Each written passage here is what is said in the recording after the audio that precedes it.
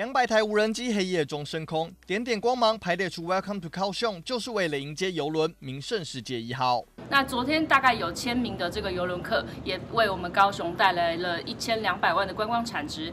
运载千人游轮客到港，游轮年正式启动。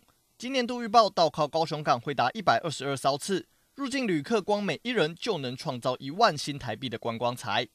跨境旅游热潮持续加温，但国内观光饭店最担心的劳动力不足，无法应付大批旅客上门。因为像饭店业、餐饮业、旅游休闲观光业都是比较属于劳力密集的行业，求业求职人员对会不一定会要往这个业态去走。赢完以后，这个大家为了生存都会找出路了啊。从事观光业的就有很多人是转到这个外送平台去，说游览车的司机啊，那有些就转到。这个开货车，短时间内看不到人力增补的曙光，只能期盼劳动力补足前，跨境观光商机可别又降温。